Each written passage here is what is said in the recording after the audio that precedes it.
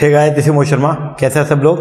Better okay एक बार फिर से स्वागत है आपका हमारे नए लेक्चर में। गाइस आज का जो हमारा टॉपिक है, वो है किसके ऊपर? म्यूचुअल फंड के ऊपर। तो आज के टॉपिक के अंदर हम लोग कवर करने वाले हैं। हमारा चैप्टर नंबर सिक्स का एक टॉपिक जिसका नाम जो है, वो है क्या? म्यूचुअल फंड अगर मैं बात करूँगा म्यूचुअल फंड का कि म्यूचुअल फंड एक्चुअल में है क्या तो उसके बारे में थोड़ी सी अब चर्चा करेंगे। आज वाले टॉपिक के अंदर हम लोग कंप्लीट करेंगे म्यूचुअल फंड होता क्या है, ठीक है? अपने इंडिया के अंदर म्यूचुअल फंड क्यों आया? दूसरा इंडिया में उसका शुरुआत कैसे कैसे हुआ और फ़ेज़ क्या? तो म्यूचुअल फंड की जो जर्नी है, उसको मैंने चार फ़ेज़ में जो है, वो डिवाइड किया हुआ है। तो वो हम देखेंगे उसको, उसका जो बेसिक बेसिक कुछ और टर्मोलॉजीज दी हैं, उसको भी अपने को कवर करना है। ओके जी सर तो करें शुरू? हाँ जी सर तो सबसे पहले अगर हम बात करेंगे इसका म्यूचुअल फंड का तो देखिएगा म्यूचुअल फंड की अगर मैं बात करता हूँ म्यूचुअल फंड दो वर्ड से बना। एक वर्ड जो है उसका नाम क्या है? म्यूचुअल क्या नाम है? म्यूचुअल। और एक वर्ड जो है उसका नाम क्या है? फंड। एक है म्यूचुअल और एक है फंड। अगर हम बात करें किसका टर्म म्यूचुअल का तो म्यूचुअल का मतलब क्या होता है? म्यूचुअल का मतलब होता है इकट्ठा। क्या होता है? इकट्ठा। इकट्ठा बोले तो कलेक्टिव क्या होता है? कलेक्टिव और फंड का मतलब क्या होता है? पैसा। क्या बोलते हैं? पैसा तो म्यूचुअल फंड को दोनों को अगर मैं क्या कर दूँ मर्ज कर दूँ तो हम क्या बोलते हैं? What is meaning of the mutual fund तो हम बोलेंगे इकट्ठा पैसा कलेक्टिव पैसा। इसका मतलब ये हो गया म्यूचुअल फंड बेसिकली जो है वो क्या रहेगा? एक ऐसा फंड होता है, एक ऐसा मतलब कुछ लोग मिल करके जो है वो क्या करेंगे? एक फंड बना लेंगे और उस फंड के अंदर वो पैसे को क्या करते हैं? कॉन्ट्रीब्यूट करते हैं। बेसिकली आप ये बोल सकते हैं कि पब्लिक से जो है वो पैसे को क्या किया गया? इकट्ठा किया गया और उसको कलेक्टिव कर लिया, उसका पूल बना लिया हमने और फिर उस पैसे को आगे कॉर्पोरेट सिक्योरिटीज के अंदर हम लोग क्या करने वाले हैं? इन्वेस्ट करने वाले हैं। दैट सिनेरियो और that concept is known as a mutual fund तो म्यूचुअल फंड में बेसिकली क्या किया जाएगा? पब्लिक से, जो पब्लिक जो स्कैटर्ड पब्लिक है, जो फैली हुई है पब्लिक मान लीजिए, उनसे हम थोड़ा थोड़ा पैसा क्या करेंगे? इकट्ठा करेंगे। उनसे पैसे इकट्ठा करके फिर वो सारा पैसा हम चैनलाइज करने वाले हैं कहाँ पे? कॉर्पोरेट सिक्योरिटीज में। जिससे क्या होगा? कॉर्पोरेट डेवलपमेंट होगा और उसकी वजह से कैपिटल फॉर्मेशन होगा कंट्री में और कंट्री के अंदर इकोनॉमिक डेवलपमेंट का फ़ेज़ है वो क्या हो जाएगा? स्टार्ट हो जाएगा। तो बेसिकली म्यूचुअल फंड के अंदर हम लोग करते क्या है? ये म्यूचुअली म्यूचुअली मतलब कुछ लोगों से जो है, जो हमारे जो पब्लिक है पब्लिक से पैसा इकट्ठा किया जाता है, उसको पूल किया जाएगा कलेक्ट किया जाएगा, इकट्ठा कलेक्टिव कर लेंगे एंड देन फिर उसको आगे हम लोग क्या करने वाले इन्वेस्ट करते हैं। उसको बोलते हैं हम लोग क्या? म्यूचुअल फंड आइएगा, पढ़ते हैं थोड़ा म्यूचुअल फंड के बारे में। म्यूचुअल फंड जो है वो क्या है कि फाइनेंशियल इंस्ट्रूमेंट है that collect money from several small investor. जो छोटे छोटे इन्वेस्टर से जो है, वो क्या करता है? पैसा इकट्ठा करता है एंड देन इन्वेस्ट इट और फिर क्या करता है उसको? इन्वेस्ट करता है in various investment option like shares bonds etcetera तो म्यूचुअल फंड क्या है? ये एक फाइनेंशियल इंस्ट्रूमेंट है, जिसके थ्रू क्या होगा? पब्लिक से थोड़ा थोड़ा पैसा इकट्ठा किया जाएगा और फिर उस पैसे को इकट्ठा करके कॉर्पोरेट सिक्योरिटीज के अंदर क्या कर दिया जाएगा? इन्वेस्ट कर दिया जाएगा। This fund is manage by expert ये जो फंड होता है, ये जो म्यूचुअल फंड है आपका, इसको एक्सपर्ट्स जो होते हैं, वो लोग क्या करते हैं, इसको मैनेज करते हैं। एक परफेक्ट जिसको जो है स्टॉक मार्केट का या मनी मार्केट का जिसको प्रॉपर जो नॉलेज होता है तो वो लोग जनरली म्यूचुअल फंड को जो है, वो क्या करते हैं? म्यूचुअल फंड को वो क्या करते हैं? रेगुलेट करते हैं। रेगुलेट तो नहीं बोलूँगा मतलब म्यूचुअल फंड को चलाने का काम करते हैं। म्यूचुअल फंड को चलाते हैं वो लोग, ठीक है? उसको मैनेज करने का काम करते हैं। आगे म्यूचुअल फंड क्या है? कि इन्वेस्टमेंट व्हीकल है। That is made up of the pool of the fund collected from many investor mutual fund क्या है? इन्वेस्टमेंट व्हीकल है जी। एक इन्वेस्टमेंट व्हीकल है, जिसको कैसे बनाया गया? मेडअप कैसे किया गया? और फिर pool of fund.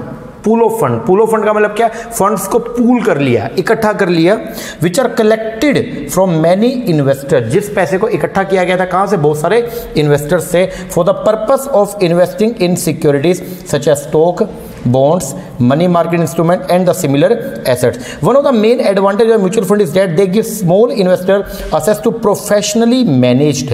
अब देखो जो छोटी छोटी पब्लिक है, उनको क्या पता किस, कहाँ पे पैसा लगाना है? ठीक है? उनको ज़्यादा नॉलेज नहीं है कैपिटल मार्केट का। तो जो पोर्टफोलियो मैनेजर्स होते हैं, जो बड़े बड़े जो म्यूचुअल फंड को चलाने का, उसको मैनेज करने का काम करते हैं, उनको हाईली नॉलेज होती है। तो म्यूचुअल फंड के थ्रू जब पब्लिक पैसा लगाती है तो पब्लिक को एक एडवांटेज जो है, आम जनता को वो ये मिलता है कि उनको प्रोफेशनल का सर्विस मिल जाता है। आगे। डाइवर्सिफाई पोर्टफोलियो ऑफ़ इक्विटी आम जनता पैसा लगाएगी, थोड़ा बहुत पैसा होता है, वो लगाएँगे, वो एक ही जगह लगाएँगे। बट म्यूचुअल फंड वाला सारे पैसे को एक ही जगह जो है वो चैनलाइज नहीं करता, वो बेसिकली क्या बनाता है, उसका पोर्टफोलियो बनाएगा आगे। And bonds and other security which would be quite difficult if it not possible to create with a small amount of capital तो वो लोग तो ऐसा करते हैं, और जो एक अकेले बंदे की जो है वो बस की बात नहीं है। तो बेसिकली म्यूचुअल फंड से हमारी, हमें यहाँ पे जो है कुछ क्लैरिटी जो है वो ये हुआ कि म्यूचुअल फंड जो है वो क्या होता है कलेक्टिव पैसा। आम जनता से पब्लिक से पैसे को इकट्ठा किया जाएगा और फिर उसको जो है हम लोग क्या करने कर देंगे? चैनलाइज कर दें कहाँ पे? चैनलाइज कर दें कहाँ? कॉर्पोरेट सिक्योरिटीज़ के अंदर। उसको बोलते हैं हम लोग क्या? म्यूचुअल फंड अब थोड़ा सा म्यूचुअल फंड के लिए बेसिक बेसिक सी बातें करते हैं। देखो म्यूचुअल फंड में हमने किया क्या? आम जनता आम जनता बोले तो पब्लिक पब्लिक जो है वो क्या करती है? पैसा लगाती है। किसके अंदर? म्यूचुअल फंड में। जब पब्लिक पैसा प्रोवाइड करेगी म्यूचुअल फंड को तो म्यूचुअल फंड बदले में जो है उनको देता है क्या? यूनिट्स जब आप पैसा लगाते हो कंपनीज़ के शेयर्स में तो बदले में आपको क्या मिलता है? शेयर्स मिलता है। उसी तरह जब पब्लिक जो पैसा लगाएगी म्यूचुअल फंड के अंदर तो म्यूचुअल फंड से जो जनता को जो मिलेगा, वो क्या मिलेगी? यूनिट्स मिलेगा। दैट मीन्स कि पब्लिक जो है, वो इन्वेस्ट करेगी। कहाँ पे? In the units of the mutual fund public ने पैसा लगाया कहाँ पे? यूनिट्स ऑफ़ म्यूचुअल फंड फिर म्यूचुअल फंड वाला क्या करेगा? उस पैसे को आगे चैनलाइज करेगा कहाँ पे? कहाँ पे? कॉरपोरेट सेक्टर के अंदर। मतलब इन्वेस्ट करेगा इन द कॉरपोरेट सिक्योरिटी ठीक है? तो अब देखो म्यूचुअल फंड में जब पब्लिक ने पैसा लगाया तो बदले में म्यूचुअल फंड वाला जो है, वो आम जनता को देगा क्या? यूनिट्स देगा। क्या देगा? यूनिट्स देगा। जब आप लोग कंपनीज़ में, अगर मान लो पब्लिक जो है, वो डायरेक्टली कंपनी में पैसा लगाती तो बदले में पब्लिक को जो है, वो क्या मिलता? मान लो एक बार अगर इक्विटी में लगाते तो क्या मिलता? शेयर्स मिलता। तो पब्लिक बन जाती है क्या? शेयर होल्डर क्या बन जाती? शेयर होल्डर लेकिन आपने पैसा लगाया कहाँ पे? म्यूचुअल फंड में। और म्यूचुअल फंड ने बदले में आपको क्या दिया? यूनिट्स दिया। तो आप जो है, वो क्या बन जाएँगे? मतलब पब्लिक जो है वो क्या बन जाएगी? यूनिट होल्डर क्या बन जाएगी?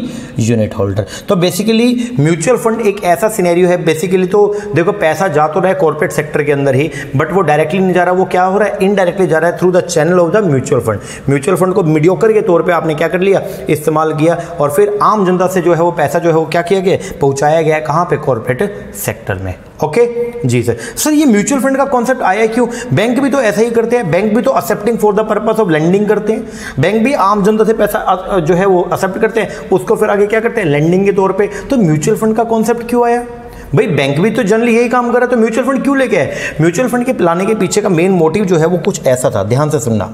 देखो, जब कंट्री इंडिपेंडेंट हुई 1947 के बाद में जब कंट्री 1947 में इंडिपेंडेंट हुआ तो उसके बाद का सिनेरियो कुछ ये था पब्लिक के पास जो भी पैसा इकट्ठा होता था पब्लिक उस पैसे को अपने पास ना रख के वो क्या करती थी? जमा करवाती थी। बैंकों में नहीं, बैंक में नहीं, कहाँ पे जमा करती थी? पोस्ट ऑफ़िस में। कहाँ पे? पोस्ट ऑफ़िस में। बैंकों में नहीं करते थे। वाई बैंकों में क्यों नहीं करते थे? क्योंकि मोस्टली उस टाइम पे मेजोरिटी जितने भी बैंक थे, वो सारे के सारे किसके? कौन से बैंक थे? प्राइवेटली ओन्ड थे। कैसे थे? प्राइवेटली ओन और जो प्राइवेट बैंक होगा, उसके अंदर पैसा लगाते हुए आम जनता को थोड़ी घबराहट होती है कि कल को अगर मान लीजिए बैंक डूब गया तो भाई साहब, हमारा पैसा तो गया। हमारा पैसा तो गया। तो अब आप बताइएगा, जहाँ पे आपको लगेगा रिस्क ज़्यादा है, आप वहाँ जाओगे या जहाँ लगेगा सिक्योरिटी ज़्यादा है, आप वहाँ जाओगे। सर, कैसी बात कर रहे हो? रिस्क अगर ज़्यादा होगा, हम नहीं जाएँगे वहाँ पर हमें बड़ा बड़ा डर लगता है। हम जाएँगे कहाँ पे? जहाँ पे देखो क्या मिलने वाली है? सिक्योरिटी तो आम जनता जो है वो जा रही थी कहाँ पे? वो पोस्ट ऑफ़िस में जा रही है और पोस्ट ऑफ़िस के अंदर जाके एफडी एफडी का खाता खुलवा लिया या फिर अपना सेविंग अकाउंट खुलवा लिया और वहाँ पे वो पैसा इन्वेस्ट करते थे। अब जो पोस्ट ऑफ़िस वाला है, वो कंपनी को पैसा प्रोवाइड करता नहीं था तो कंपनी को पैसा मिलता नहीं था। मतलब आम जनता अपना पैसा बैंकों को छोड़ के कहाँ जमा करवा रही थी? बोलो पोस्ट ऑफ़िस में। अब दिक्कत जो है वो क्या हुई यहाँ पे? अगर हम बात करते हैं तो ये हुआ कॉरपोरेट सेक्टर जो है हमारा मतलब कंपनी जो है, देखो, कोई भी कंट्री की अगर हम बात करते हैं, उस कंट्री का डेवलपमेंट जो है, वो एग्रीकल्चर को बढ़ा के नहीं किया जा सकता है, वो कंपनीज़ को कॉरपोरेट सेक्टर को बढ़ा के किया जा सकता है, ठीक है ना? जब वहाँ पे इंडस्ट्रीज़ लगे, चाहे वो मैन्युफैक्चरिंग इंडस्ट्री हो, चाहे वो सर्विस सेक्टर का इंडस्ट्री हो, अगर इंडस्ट्री लगेगा तो जाके जो है, वहाँ पर क्या होगा, बढ़ावा मिलेगा। मान लीजिए आपकी इकोनॉमी आपकी डेवलप होगी ओनली एग्रीकल्चर के बेस पर जो है, आप अच्छा डेवलपमेंट नहीं कर सकते हो। एग्रीकल्चर ज़रूरी है ज़रूरी है बट ओनली एग्रीकल्चर के बेस पर अगर आप बोलो कि हम डेवलपमेंट कर लेंगे और बहुत आगे पहुँच जाएँगे, ऐसा पॉसिबल नहीं है। अब देखो कंपनीज़ को अगर बढ़ावा देना है, अब पहली बात तो ये कंपनी को पैसा मिलता कहाँ कहाँ से? कंपनी को बढ़ावा देना है, इसका मतलब कंपनी को एस्टेब्लिश करवाओ। कंपनी को एस्टेब्लिश करवाने का मतलब जो है वो क्या हुआ? आप ये ये सोचो। कंपनी को अगर हम बना रहे हैं, आपने कंपनी जो है वो क्या की? बनाई। ठीक है? अब कंपनी बनाने के लिए आपको कंपनी के लिए क्या चाहिए? कैपिटल चाहिए। अब पैसा कहाँ से आएगा? या तो खुद का पैसा या बाहर से लेके आते हो। बाहर से या तो जनता से लाओगे? मतलब कंपनी के पास पैसा कहाँ से आएगा? या तो जनता से अगर अगर कंपनी जो है, वो क्या कर दे? अगर कंपनी इशू कर दे क्या? आईपीओ इनिशियल पब्लिक ऑफ़र तो जनता से पैसा इकट्ठा कर लेगी। बट जनता घबरा रही है कि हम कंपनी में डायरेक्टली पैसा नहीं लगाएँगे। ठीक है? या कंपनी के पास में जो पैसा आएगा, वो कहाँ से आएगा? बैंकों पे। अब बैंकों से पैसा तो तब आएगा ना लोन के तौर पे। मतलब हम क्या करते? लोन ले लें। बट बैंकों से पैसा लोन के तौर पे हमारे पास में तो तब आएगा ना। जब क्या हो? बोलो, जब क्या हो? भाई, बैंकों से पैसा मेरे पास लोन के तौर पे तो तब आएगा। जब क्या हो, बोलो तो सही। जब बैंकों के पास पैसा हो, अगर बैंकों के पास ही पैसा नहीं होगा तो फिर वो कैसे लोन दे देंगे? क्योंकि बैंकों के पास पैसा भी कहीं ना कहीं तो पब्लिक से ही आता है। बोलो। जी सर, और अगर पब्लिक को लगेगा कि बैंक जो है वो सारे के सारे प्राइवेटली ओन्ड है और उनके अंदर पैसा लगाना थोड़ा सा रिस्की है तो जनरली वो वहाँ पे पैसा नहीं लगाएँगे। और या फिर कंपनी के पास पैसा आएगा कहाँ से? गवर्नमेंट से। लेकिन गवर्नमेंट तो पैसा तभी देती है जब आपको बेल आउट पैकेज प्रोवाइड करती है। बेल आउट मतलब सहायता, जब कंपनी डूब रही है। नॉर्मल कोर्स ऑफ़ बिज़नेस में तो गवर्नमेंट भी पैसा प्रोवाइड नहीं करेगी।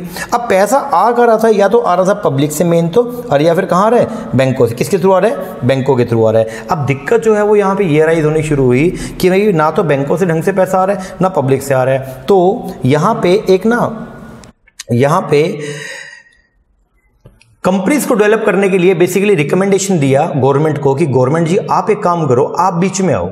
अगर आप बीच में आओगे ना तो लोगों का आपके ऊपर तो विश्वास है।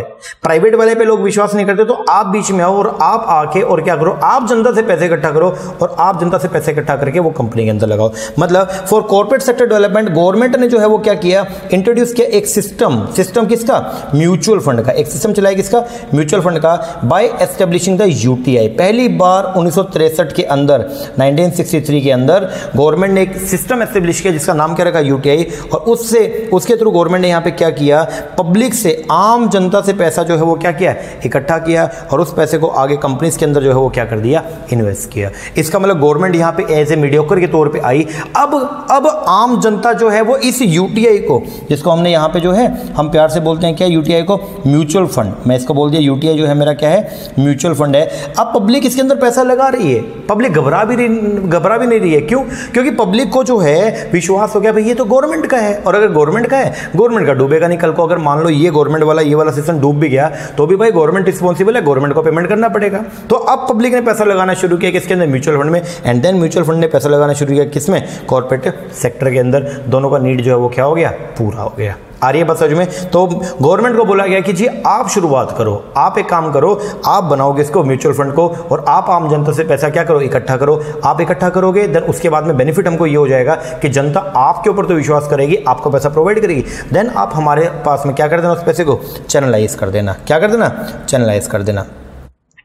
इंडिया के अंदर अगर हम बात करते हैं अपने म्यूचुअल फंड का तो इंडिया के अंदर म्यूचुअल फंड जो है वो थ्री टायर स्ट्रक्चर के ऊपर काम करता है। फ़र्स्ट लेवल मतलब थ्री टायर बोल दो या तीन लेवल बोल दो। ठीक है? अपने इंडिया के अंदर जो है तीन लेवल स्ट्रक्चर के ऊपर म्यूचुअल फंड काम करता है। पहला जो लेवल है वो है कौन सा? स्पॉन्सर पहले नंबर पे कौन है? स्पॉन्सर। दूसरे पे कौन है? ट्रस्टी। और तीसरे पे कौन है? एएमसी एसेट मैनेजमेंट कंपनी तो इन इंडिया अपने इंडिया की अगर हम बात करते हैं म्यूचुअल फंड इज़ इन अपने इंडिया के अंदर म्यूचुअल फंड जो है वो कितने में? थ्री टायर स्ट्रक्चर में। थ्री टायर में। थ्री टायर के अंदर एक है स्पॉन्सर एक है ट्रस्टी एक है एएमसी अभी इनके बारे में पढ़ेंगे तो मैं कंप्लीट ही आपको इसका जो ऑर्गेनाइजेशन स्ट्रक्चर है, हम वो करते हैं पहले कि अपना जो म्यूचुअल फंड है, उसका ऑर्गेनाइजेशन स्ट्रक्चर क्या? आइएगा, निपटाते हैं इसको। आप आएँगे अपने ऑर्गेनाइजेशन स्ट्रक्चर पे। ये देखिएगा। ऐसा करके मिलेगा आपको organisation of a mutual fund notes के अंदर। देखो, सबसे पहले नंबर पे जो है वो आएगा यूनिट होल्डर हाँ जी, अब जल्दी से आप मुझे बताएँगे who is unit holder sir unit holder वो पर्सन होता है जो बेसिकली क्या करता है म्यूचुअल फंड के अंदर पैसा इन्वेस्ट करता है। उसको बोलते हैं हम लोग क्या? Unit holder unit holder is a person और इंस्टीट्यूशन विच इन्वेस्ट जो इन्वेस्ट करता है देयर फंड्स इन द कहाँ पे? म्यूचुअल फंड में। जो पैसा लगाएगा किसमें म्यूचुअल फंड में। उसको बोलते हैं हम लोग क्या? यूनिट होल्डर नंबर टू के ऊपर जो आएगा वो कौन आएगा जी? स्पॉन्सर सेकंड नंबर पर कौन आएगा? स्पॉन्सर सर ये स्पॉन्सर कौन होता है ये बताओ जल्दी से। स्पॉन्सर वो पर्सन है जिसके माइंड में आइडिया आया। जिसके माइंड में आइडिया आया, क्या खोलने का? म्यूचुअल फंड खोलने का। उसको बोलते हैं हम लोग क्या? स्पॉन्सर। The sponsor initiate. जो आपका स्पॉन्सर होगा वो क्या करेगा? इनिशिएट करेगा idea to set up a mutual fund sponsor वो होता है जो क्या करेगा? आइडिया इनिशिएट करेगा म्यूचुअल फंड को क्या करने का? सेटअप करने का. It could be a registered company ये कौन कौन हो सकता है? ये रजिस्टर्ड कंपनी भी हो सकती है शेड्यूल बैंक भी हो सकता है, या कोई फाइनेंशियल इंस्टीट्यूशन भी हो सकता है. The sponsor appoint the trustee sponsor वो होता है जो अपॉइंट करेगा किसको? ट्रस्टी को. स्पॉन्सर एएमसी को अपॉइंट करता है स्पॉन्सर कस्टोडियन को अपॉइंट करता है. Once the AMC asset management company अभी पढ़ेंगे उसके बारे में. अगर एक बार ए एएनसी को आपने बना दिया तो फिर क्या होगा? Sponsor is just a stakeholder तो स्पॉन्सर ओनली क्या बन जाएगा? स्टेक होल्डर बन जाएगा। अभी पढ़ेंगे एएमसी के बारे में और ट्रस्टी के बारे में आगे। However sponsor could play a key role in bail out and AMC during a crisis लेकिन, अब देखो स्पॉन्सर जो है वो ओनली क्या बन गया? स्टेक होल्डर बन के बैठ गया। सारा काम या तो ट्रस्टी संभाल रहे हैं और एएमसी संभाल रही है। लेकिन अगर कभी ऐसा हो गया कि म्यूचुअल फंड क्राइसिस में चला गया म्यूचुअल फंड को कोई प्रॉब्लम हो गई है तो उस प्रॉब्लम को दूर करने के लिए जो है वो बीच में कौन आ जाएगा? आपका जो स्पॉन्सर दोबारा आ जाएगा। ठीक है? जी सर। तो स्पॉन्सर कौन होता है सबसे पहले? सर स्पॉन्सर वो पर्सन है जो इनिशिएट करता है किसको? आइडिया होता है म्यूचुअल फंड म्यूचुअल फंड जो म्यूचुअल फंड के आइडिया की क्या करता है? शुरुआत करता है। इसके बाद थर्ड नंबर पे जो आया वो कौन है जी? ट्रस्टी कौन है? ट्रस्टी अगर मैं बात करूँगा इस ट्रस्टी के बारे में, किसके बारे में? ट्रस्टी के बारे में तो भाई ट्रस्टी कौन होता है? हु इज़ ट्रस्टी तो यहाँ पे ये बोला गया, भाई ट्रस्टी जो है, जब एक बार अगर म्यूचुअल फंड ने देखो, अगर एक बार म्यूचुअल फंड ने जो है स्पॉन्सर ने जो है, जब म्यूचुअल फंड को एस्टेब्लिश कर दिया तो उसके बाद उस म्यूचुअल फंड के इंटरनल जो भी अफेयर्स होते हैं, उनको संभालने का जिम्मा जो होता है, वो दिया जाता है किसको ट्रस्टी को। क्योंकि देखो म्यूचुअल फंड जब आप बनाओगे तो म्यूचुअल फंड बनाते ही, ऐसा नहीं है कि आपका, आपको एक स्ट्रक्चर तो मेंटेन करना पड़ेगा ना, आपको ट्रस्ट बनाना पड़ता है पहले। आपको फॉर्मेट बनाना पड़ेगा किसका? ट्रस्ट का। तो इंडियन ट्रस्ट एक्ट जो है, उसके अंदर आपको पहले ट्रस्ट बनाना पड़ेगा। वो ट्रस्ट बनाओगे तो उसके अंदर एक बंदे को अपॉइंट करना पड़ेगा। उसको नाम होगा ट्रस्टी जो म्यूचुअल फंड के इंटरनल अफेयर को क्या करेगा? संभालने का काम करेगा। ट्रस्टी क्या करेगा जी? प्रोटेक्ट करता है किसको? The interest of the unit holder जो आपके यूनिट होल्डर होते हैं उनके इंटरेस्ट को क्या करता है? प्रोटेक्ट करता है। सम टाइम कई बार ऐसा होता है ट्रस्टी और स्पॉन्सर सेम होते हैं। ट्रस्टी फ्लोट करेगा and the market scheme and secure करेगा नेसेसरी अप्रूवल दे चेक वो चेक करता रहेगा if the AMC investment are within the defined limit और note whether funds asset are protected क्या फंड्स के एसेट प्रोटेक्टेड हैं? And also ensure that unit holder get their due return और क्या unit holder को जो है प्रॉपर रिटर्न मिल रही है या नहीं? नहीं मिल रही है। ट्रस्टी ही सारे के सारे गाइडलाइंस को भी जो है वो क्या करेगा? फुलफिल करेगा और ट्रस्टी की रिस्पॉन्सिबिलिटी की वो हर छः छः महीने में म्यूचुअल फंड की जो आ, जो रिपोर्ट्स है उनको क्या करता रहेगा? सेबी को पब्लिश करता रहेगा। For major decision concern the fund they have to take the unit holder consent they submit every they submit report every six month to the SEBI okay तो तीसरे नंबर पे जो आएगा, उसको बोलते हैं हम लोग क्या? ट्रस्टी तो ट्रस्टी कौन होता है? जो प्रोटेक्ट करते हैं इंटरेस्ट किसका? यूनिट होल्डर का. इसके बाद में अगला जो आएगा, वो कौन आएगा जी? एएमसी कौन आएगा अगला? एएमसी फोर्थ नंबर पे कौन है? एएमसी ध्यान से सुनिएगा। पब्लिक ने पैसा प्रोवाइड किया किसको? बोले सर पब्लिक ने जो है वो पैसा प्रोवाइड किया किसको? म्यूचुअल फंड वालों को. अब म्यूचुअल फंड वाले उस पैसे को आगे क्या करेंगे? इन्वेस्ट करेंगे कहाँ पे? कॉर्पोरेट सिक्योरिटी में. तो म्यूचुअल फंड के पास जब पैसा पहुँचा तो एएमसी का ड्यूटी होता है उस पैसे को आगे क्या करने का? इन्वेस्ट करने का। तो एएमसी कौन है? एएमसी वो है जो पब्लिक के पैसे को क्या करता है? मैनेज करता है। जो पब्लिक के पैसे को क्या करता है? मैनेज करता है। इट टेक्स इन्वेस्टमेंट डिसीज़न ये क्या लेता है? इन्वेस्टमेंट डिसीज़न लेता है। कंपनसेट करता है इन्वेस्टर्स को थ्रू द डिविडेंड मेंटेन करता है proper accounting and information for pricing of the units calculate करता है एनएवी एंड प्रोवाइड करता है information on listed scheme and secondary market transaction तो ये कौन होता है जी आपका? एएमसी कौन होता है? एएमसी एएमसी बोले तो बोलो एसेट मैनेजमेंट कंपनी तो एसेट मैनेजमेंट कंपनी जो हमारी होती है, इसका मेन काम जो है वो ये होता है कि ये ये जो है वो म्यूचुअल फंड के पैसे को क्या करता है मैनेज करता है, उसको आगे इन्वेस्ट करना की जिम्मेवारी जो है वो किसकी होती है? एएमसी का। एक होता है ट्रांसफ़र एजेंट ये तो मैं डायरेक्टली बोलता हूँ ट्रांसफ़र एजेंट का मेन काम क्या रहेगा? You are the unit holder आप यूनिट होल्डर हैं। आपने आज एक म्यूचुअल फंड की यूनिट को परचेज किया। कल को अगर आप उसको मेरे को सेल कर दोगे ठीक है? तो ट्रांसफ़र एजेंट का काम क्या रहेगा? वो आपके अकाउंट से यूनिट्स को क्या करेगा? सेल करेगा और मेरे अकाउंट के अंदर यूनिट को क्या कर देगा? परचेज दिखा देगा। मतलब इसका मेन काम क्या रहेगा? ट्रांसफ़र करने का रहेगा। इसको बोलते हैं आप लोग क्या? ट्रांसफ़र एजेंट क्या बोलेंगे? ट्रांसफ़र एजेंट और यही ट्रांसफ़र एजेंट वो होगा जो रिकॉर्ड कीपिंग का क्या करेगा? काम करेगा। एक लाइन पढ़ा देता हूँ इसका। ट्रांसफ़र एजेंट इस एम्प्लॉय किसके द्वारा लगाया जाएगा? By the mutual fund to conduct the record keeping and the related function आगे। एक होता है जी कस्टोडियन छठे नंबर पे कौन आएगा?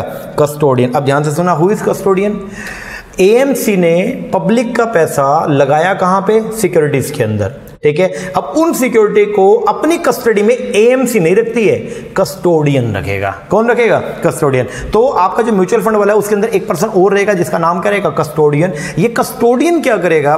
पब्लिक का पैसा जो म्यूचुअल फंड पे आया था, उस पैसे को सिक्योरिटीज के अंदर क्या किया? इन्वेस्ट किया। अब जब इन्वेस्ट कर दिया तो वो सिक्योरिटी के कुछ पेपर्स तो मिले होंगे। वो सिक्योरिटी या तो मेटीरियल फॉर्म में होगी या डीमेट फॉर्म में होगी। तो अगर मेटीरियल फॉर्म में है तो उसके कुछ सर्टिफिकेट शेयर सर्टिफिकेट या डिवेंचर के आपके सर्टिफिकेट या डिवेंचर का डीड मिला होगा। और अगर वो डीमेट फॉर्म में है तो डीमेट अकाउंट भी होगा। तो जो पैसा म्यूचुअल फंड ने इन्वेस्ट किया है कॉर्पोरेट सिक्योरिटीज के अंदर। उनको अपने पास, उसको अपनी कस्टडी में जो रखेगा, उस पर्सन को बोलते हैं हम लोग क्या? कस्टोडियन। क्या बोलेंगे? कस्टोडियन। तो कस्टोडियन कौन है? Mutual fund are required by the law to protect their securities by placing them with a custodian. कि वो उसको प्लेस करेगा किसके पास में? कस्टोडियन के पास में। Nearly all mutual fund use qualified bank custodian.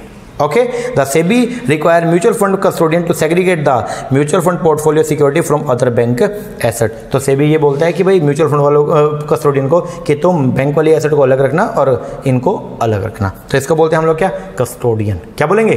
Custodian okay जी सर सर अपने इंडिया के अंदर अगर हम बात करते हैं म्यूचुअल फंड का तो म्यूचुअल फंड का आपने अभी हमको बताया चार फ़ेज़ के अंदर आपने डिवाइड किया हुआ है। हाँ जी सर सर वो चार फ़ेज़ कौन कौन से एक बार बताइए। देखो नोट्स के अंदर तो मैंने ये लिखा हुआ है कि अपने इंडिया में म्यूचुअल फंड का शुरुआत हुआ नाइनटीन से। चार फ़ेज़ कौन कौन पहला फ़ेज़ है नाइनटीन से लेकर के नाइनटीन अगला है 1987 से 1993 अगला है 1993 से 2003 और अगला है 2003 से लेकर के एट प्रेजेंट ठीक है? ये चार फ़ेज़ है। चारों फ़ेज़ को अपने को पढ़ना पड़ेगा। अभी इन चारों का मैंने समरी बना रखी है तो मैं वो समरी में से करवाऊँगा। आप घर पे इसका रीडिंग करेंगे, लेकिन सिंपल सिंपल सा है। ठीक है ना? इसके समरी में आपको बताता हूँ एक बार। तो इसका जो म्यूचुअल फंड वाला है, इसका समरी आइएगा, देखते हैं।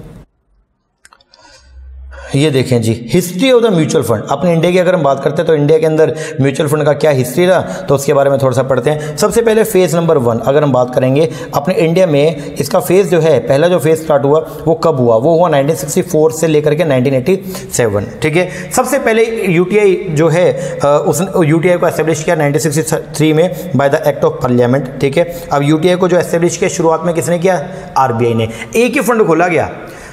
एक ही फंड खोला गया जिसका नाम क्या रखा, जो जिसको एस्टेब्लिश किसने किया? आरबीआई ने किया था, ठीक है? और 1978 के अंदर आरबीआई को डीलिंग कर दिया और वो जो भी पूरा स्टेक था, वो सारा का सारा ले लिया किसने? आईटीबीआई ने। तो पहली बात तो ये हो गया फ़र्स्ट फ़ेज़ जो है म्यूचुअल फंड का अपने इंडिया में कैसे शुरू हुआ? 1964 में, ठीक है? जब 1963 का यूटीआई का एक्ट बनाया गया, लेकिन स्कीम तो 64 के अंदर आई थी। तो बोलते यूटीआई को एस्टेब्लिश किया 1963 में बाय द कैसे? एक्ट ऑफ़ पार्लियामेंट ठीक है? 1963 में आपने क्या किया? जब इसको यूटीआई को एस्टेब्लिश किया था, किसने एस्टेब्लिश किया शुरुआत में? आरबीआई ने। लेकिन इन 1978 उसको डीलिंग कर दिया किससे? आईडीबीआई से। किससे? डीलिंग कर दिया आरबीआई से, और अब वो उसका स्टेक किसके पास में डाल दिया? आईडीबीआई के पास में। तो इसमें फ़र्स्ट फ़ेज़ में आपको जो याद करके जाना है वो सिर्फ़ ये कि 1964 से 1987 तक एक ही म्यूचुअल फंड था ओनली वन जिसका नाम जो है वो क्या था? यूटीआई एक ही था, उसका नाम क्या था? यूटीआई इसके बाद में अपना सेकंड फ़ेज़ जो है वो क्या हुआ? स्टार्ट हुआ। 1987 से लेकर के 1993 का। इस फ़ेज़ के अंदर क्या किया गया? आप ध्यान से सुनना। ये जो अपना सेकंड फ़ेज़ शुरू हुआ जब अकेला यूटीआई काम कर रहा था 1963 से उसने वर्किंग करना शुरू किया 87 तक तो बाद में कुछ गवर्नमेंट के आ, कुछ पब्लिक सेक्टर बैंक रहा है और वो बोले जी हमको भी मौका दो।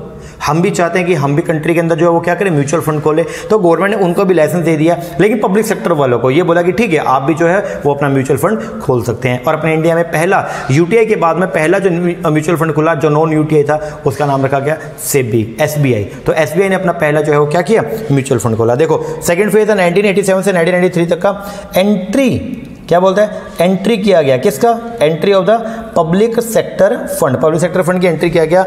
अप टू 1987 शुरू से 63 से लेकर के 1987 तक ओनली यूटीआई ओनली कौन? यूटीआई ओनली यूटीआई था। एंड उसके बाद में देर आफ्टर ओपन कर दिया किसके लिए? ये जो म्यूचुअल फंड सेक्टर था ओपन कर दिया किसके लिए?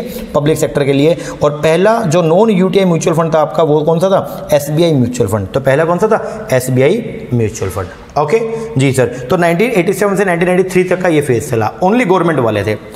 इसके बाद फिर प्राइवेट वाले आ गए। वो बोले, जी, हमने क्या गुना किया हुआ हमको भी दो। हमको भी मौका दो। हम भी ये चाहते हैं कि हम भी क्या खोलें? म्यूचुअल फंड खोले और गवर्नमेंट ने जो है वो उनको भी क्या दिया? लाइसेंस दिया कि ठीक है भाई, तुम भी आओ। तुम क्यों पीछे रह रहे हो? तुम भी आ जाओ। अब मुझे एक बात बताइएगा। गवर्नमेंट घपला करेगी ज़्यादा या प्राइवेट वाला ले पैसा लेके भाग सकता है? भाई सर गवर्नमेंट तो इतना, भाई ऐसा तो नहीं करेगी पब्लिक से पैसा लेके भाग जाए? गवर्नमेंट कहाँ भागेगी? गपला जो करेगा वो कौन करेगा? प्राइवेट वाला। अब जैसे प्राइवेट वाले का एंट्री हो गया 1993 में, उस टाइम ही सेबी को बोला गया कि सेबी, आप अपना कुछ इसको क्या करोगे? कंट्रोल करोगे। क्योंकि कहीं ना कहीं ये कैपिटल मार्केट से रिलेटेड है। क्योंकि पैसा तो कैपिटल मार्केट में लगेगा। तो कैपिटल मार्केट का हमारा जो रेगुलेटर है चैप्टर नंबर सेवन में हमने पढ़ा रेगुलेटर्स के बारे में तो वो कौन था? आपका सेबी। तो सेबी को बुलाया गया कि सेबी, आप एक काम करो, इनके लिए म्यूचुअल फंड वालों के लिए आपको गाइडलाइंस जो है वो क्या करें? इशू करें। तो यहाँ पे थर्ड फ़ेज़ जो आपका शुरू हुआ कब? 1993 से लेकर के 2003 तक का। यहाँ पे क्या किया गया? एंट्री हुआ किसका? प्राइवेट सेक्टर फंड्स का। किसकी एंट्री हुई? प्राइवेट सेक्टर फंड की।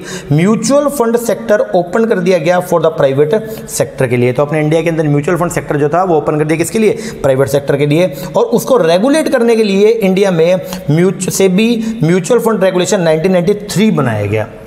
सही बोल रहा हूँ मैं? गलत नहीं बोल रहा? सेबी म्यूचुअल फंड रेगुलेशन 1993 बनाया गया। सर, हम तो 1996 सुना है। एक्जैक्टली आपने जो सुना है, वो सही सुना है। लेकिन शुरू में 1993 बनाया था। बाद में उसमें अमेंडमेंट किया गया और नई जो गाइडलाइंस थी म्यूचुअल फंड्स को रेगुलेट करने की, वो 1996 में है। तब से लेकर अब तक जो चल रहा है, वो क्या चल रहा है? SEBI SEBI mutual fund regulation 1996 1996 ठीक है? जब प्राइवेट सेक्टर को एंट्री दिया गया तो सबसे पहला अपने इंडिया में जो प्राइवेट सेक्टर का जो म्यूचुअल फंड खुला, वो म्यूचुअल फंड कौन सा था? कोठारी पायनीर। कौन सा था? कोठारी पायनीर, ठीक है? ये जुलाई 1993 के अंदर जो है वो क्या हुआ? ओपन अप हुआ था। ओके? जी सर तो ये हो गया अपना। अब एक, अब जैसे ही ये आया ना, अब ध्यान से सुनना। जैसे ही सेबी म्यूचुअल फंड रेगुलेशन 1993 के बाद में 1996 आया तो इसने ये बोल दिया, जी, सारे के सारे म्यूचुअल फंड को, जितने भी म्यूचुअल फंड है ना, उनको क्या करना पड़ेगा? रजिस्ट्रेशन करवाना पड़ेगा। क्या करना पड़ेगा? रजिस्ट्रेशन करवाना पड़ेगा under this under this regulation और किसके पास में? सेबी के पास में, एक्सेप्ट यूटीआई यूटीआई को छोड़ के। मतलब जितने भी म्यूचुअल फंड है, चाहे वो गवर्नमेंट के हैं, चाहे वो प्राइवेट वाले हैं, उन सारे म्यूचुअल फंड को क्या करना पड़ेगा? अपने म्यूचुअल फंड को रजिस्टर्ड करना पड़ेगा। किसमें? किसको अपने फंड को रजिस्टर करना पड़ेगा? सेबी में। किसको छोड़ के? किसको छोड़ के? यूटीआई को छोड़ के। क्यों? क्योंकि यूटीआई के लिए अलग से 1963 में एक्ट बना हुआ था, जिसको बोलते हैं यूटीआई एक्ट 1963 अब जब फोर्थ फ़ेज़ आया तो इसके अंदर क्या हुआ? फोर्थ फ़ेज़ के अंदर जो है, वो क्या किया गया? फोर्थ फ़ेज़ पहली बार तो कब से शुरू हुआ? फरवरी 2003 से, और ये एट प्रेजेंट चल रहा है। फरवरी 2003 के अंदर जो है, जो हमारा यूटीए एक्ट था, उसको रिपील्ड कर दिया। बोले तो उसको रद्द कर दिया। अब इतना बड़ा सेक्टर चल रहा था, पूरा म्यूचुअल फंड वाला जो जो यूटीआई चला रहा था, अब यूटीआई का सिस्टम जो है, उसका क्या करें? भाई यूटीआई को सर संभालेगा कौन? तो यहाँ पे एक सिस्टम किया गया। इन फेब 2003 रिपील कर दिया यूटीआई का एक्ट यूटीआई का एक्ट जब रद्द कर दिया तो वहाँ पे यूटीआई को जो है गवर्नमेंट ने क्या किया? बाइफर्केशन किया। कितने पार्ट में? दो सेपरेट एंटिटी के अंदर। एक एंटिटी को जिसको बोलते हैं हम लोग क्या? Specified undertaking of the UTI और दूसरा क्या था? यूटीआई म्यूचुअल फंड जो सबसे पहली एंटिटी थी, जिसका नाम जो है वो क्या था? Specified undertaking of the UTI तो ये रिप्रेजेंट करती है ब्रॉडली किसको? एसेट होता है US sixty four scheme sir, ये यूएस सिक्सटी फोर स्कीम क्या है? ये बेसिकली एक स्कीम थी किसकी? म्यूचुअल फंड की, ठीक है? तो ये इसको जो है वो क्या करती है? ये इसको जो है वो क्या करती है? डिनोट करती है। ठीक है, इसका नाम क्या है? यूएस सिक्सटी फोर स्कीम तो जब यूटीआई को डिसमेंटल कर दिया, जब यूटीआई एक्ट को खत्म किया तो उस टाइम पे यूटीआई के जो म्यूचुअल फंड था, उसके दो हिस्से किए गए। एक तो एक को बोलते हैं हम लोग क्या? स्पेसिफाइड अंडरटेकिंग क्या बोलते हैं? स्पेसिफाइड अंडरटेकिंग ठीक है, और ये जो है वो बेसिकली डिनोट करेगा किसको? यूएस सिक्सटी फोर स्कीम को। ठीक है, ये फ़ंक्शन करेगा under the under rules framed by the government of India ये किसके अंडर काम करेगा? उन रूल्स के अंडर काम करेगा जिनको फ्रेम किया किसने? गवर्नमेंट ऑफ़ इंडिया ने, ठीक है? मतलब इसके ऊपर म्यूचुअल फंड के रेगुलेशन नहीं चलेंगे। और जो दूसरा दूसरा जो बनाया आपने, दूसरा जो पार्ट था, उस पार्ट को जो है वो संभालेगा कौन? Mutual fund. Second is the UTI mutual fund, जो रजिस्टर्ड है विद किसके पास में? सेबी के पास में और फ़ंक्शन करेगा under the mutual fund regulation तो जब यूटीआई को क्या किया गया? डिसमेंटल किया गया यूटीआई एक्ट को खत्म किया गया तो वहाँ पे यूटीआई एक्ट के दो हमने बाइफिकेशन किया। एक था कौन सा? स्पेसिफाइड अंडरटेकिंग यूटीआई और एक कौन सा? UTI mutual fund. तो स्पेसिफाइड अंडरटेकिंग को संभालेगी सेंट्रल गवर्नमेंट और यूटीआई म्यूचुअल फंड को जो है संभालता है कौन? आपका SEBI mutual fund regulation okay जी सर। ये है जी हमारा बेसिक बेसिक इसका म्यूचुअल फंड्स का कि म्यूचुअल फंड जो है वो एक्चुअल में होता क्या है? म्यूचुअल फंड के बारे में सारा परफॉर्मा हम लोगों ने देखा, उसका हिस्ट्री देखा म्यूचुअल फंड फंक्शनिंग कैसे करता है वो देखा। अब नेक्स्ट क्लास के अंदर हम लोग जो है क्या क्या पढ़ने वाले हैं? सर नेक्स्ट क्लास के अंदर हम लोग जो है, वो पढ़ेंगे ये, एक तो अपना बेनिफिट्स म्यूचुअल फंड में पैसा लगाने का बेनिफिट क्या, फिर एक ही अपना एनएफओ न्यू फंड ऑफ़र जैसे आईपीओ होता है, वैसे इनका एनएफओ होता है किम की इन्फॉर्मेशन मेमोरेंडम उसके बारे में। तो ये टाइप ऑफ़ फंड पढ़ेंगे। टाइप ऑफ़ फंड के बाद फिर हम लोग जो है, वो पढ़ेंगे इसका म्यूचुअल फंड सर्विस सिस्टम, ये है क्या, कैसे मैनेज किया जाता है, ठीक है? फिर अपने को पढ़ना है इसका ट्रेडिंग कैसे होता है, क्लियरिंग सिस्टम जो है, वो कैसे काम करता है, ये हमने पढ़ लिया। और फिर हम लोग जो है, एक पढ़ेंगे इसमें रिस्क और रेगुलेशन, और अपना टॉपिक जो है, वो हो जाएगा क्या? खत्म। ओके जी सर चलो इतना कीजिए बाकी मिलेंगे हमारे नेक्स्ट सेक्शन में ठीक है? लेक्चर कैसा लगा है कमेंट करके ज़रूर बताइएगा। अगर अच्छा लगा है तो अच्छा अच्छा कमेंट कीजिएगा, ठीक है? और अगर कोई कमी लगी है तो वो भी बताइएगा। अच्छा लगा हो अगर लेक्चर तो अपने फ्रेंड्स के साथ में आप इसको जो है, वो शेयर भी कीजिएगा ओके रिवीजन के ऑडियोस हमारे एक्चुअली क्या है, हम रिवीजन के ऑडियोज़ भी प्रोवाइड करवाते हैं, ठीक है? वो फ्री ऑफ़ कॉस्ट है, सभी बच्चों के लिए हैं। तो अगर आप यूजीसी नेट का प्रिपरेशन कर रहे हैं तो आपके लिए भी हमारा टेलीग्राम का, जो हमारा ग्रुप हमने बना रखा है, उसका लिंक हमने डिस्क्रिप्शन में डाला हुआ है। आप उस पर क्लिक पहले टेलीग्राम ऐप को डाउनलोड कर लेना, फिर लिंक पे अगर आप क्लिक करेंगे तो आप हमारे ग्रुप को ज्वाइन कर लेंगे, ठीक है? वो इनवाइट लिंक है। तो उसमें क्या है कि अपने यूजीसी नेट के अंदर जो अपना पेपर नंबर टू है कॉमर्स का तो उसके वेरियस जो हमारे टेन हमारे जो यूनिट्स हैं, उनके ऑडियोस लेक्चर्स भी हम वहाँ पर प्रोवाइड करवाते हैं। वो हमारा फ्री ऑफ़ कॉस्ट है। और अगर आप दिसंबर 19 के लिए अगर आप प्रिपरेशन कर रहे हैं तो हमने ऑनलाइन बैच हमने शुरू किया हुआ है। तो अगर आप चाहते हैं उसमें एनरोल करना तो आप अभी भी कर सकते हैं, ठीक है? लेकिन ये है, देखिए, उतना बेनिफिट तो नहीं होगा, क्योंकि सिलेबस बहुत ज़्यादा वाइड है। लेकिन हाँ अगर आप कुछ कुछ चीज़ें कुछ कुछ टॉपिक अगर आपके जो है, वो कमज़ोर हैं तो वो आपका हो सकता है वहाँ से, ठीक है? तो देख लीजिएगा जैसे आपको ठीक लगे, ओके? जी सर चलो, ये कीजिए, बाकी मिलते हैं हमारे नेक्स्ट सेक्शन में, तब तक के लिए। Thank you very much